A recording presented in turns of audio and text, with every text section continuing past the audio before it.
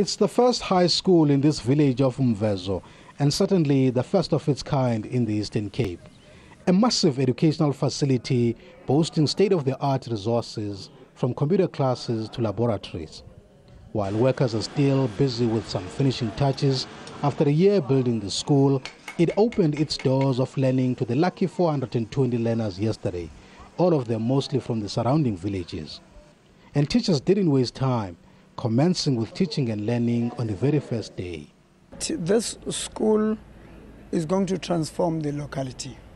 That's number one. Number two, children that are coming out of here are going to be stars, especially those are working, that are working hard and smart. And we expect them to compete very effectively against national students or former Model C schools.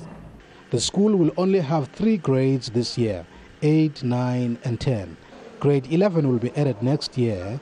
This will all culminate to the school's first matric class in 2016.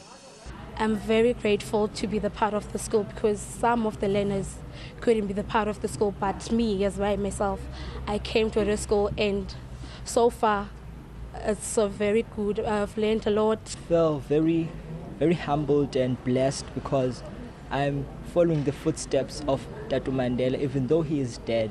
The school offers four specialized subject streams engineering, science, technology, and agriculture.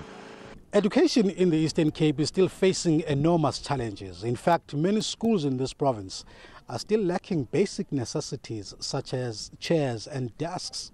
But this school here is said to be a beacon of hope, a catalyst for meaningful change, as well as a possible model for more such schools. Tami Texan, SABC News, ni Mtata.